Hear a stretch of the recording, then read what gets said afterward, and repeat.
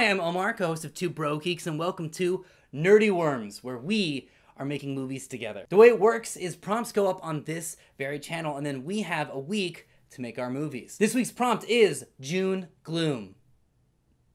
You know, let me explain that. When we talk about early films, we often refer to them as black and white pictures, since I've always had a problem with this label. First of all, early filmmakers would often run their film through color tinting processes in order to give them a red or blue or yellow hue to communicate a feeling or sensation. And also, I don't think that early film was a conversation between black and white. For example, this is a Jackson Pollock painting. These are specifically black and white paints, whereas this is an image from an early film. There's so much more going on in terms of a gradient.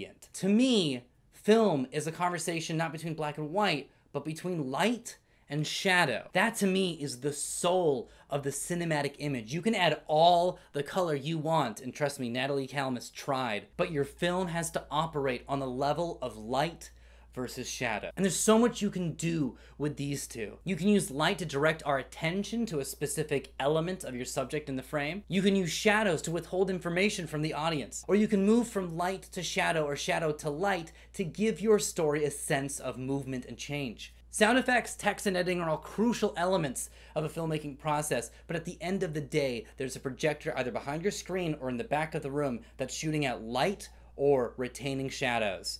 And that's what I want us to play with. So that's it. That's what I mean when I say June gloom. You can shoot these films in black and white. I, I still can't. I still have a problem with it. Or in glorious Technicolor, or anything in between. It's completely up to you as long as we're focusing on the relationship between light and shadow. If you can get those done by June 23rd, they will go up in the Nerdy Worms playlist right here on this very channel. And I will be tweeting out information and resources regarding light versus shadow at Two Broke Geeks on Twitter. If you didn't have a chance to check out our Nerdy Worms sound effects playlist, please do that.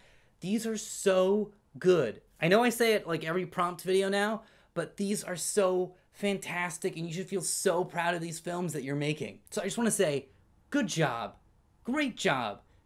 Great, great job. All right, folks, again, that is June Gloom. If you can get those in by June 23rd, you can tweet them at Two Broke Geeks or you can post a link in the comments below. They will go up on the playlist and then we will all enjoy them. If you like this video, feel free to like it. And if you know anyone who would like to be involved in Nerdy Worms, feel free to share this video with them. That'd be awesome. That'd be a great little, that'd be a good thing. All right, that's all for me. Until next time, guys, let's go make some movies.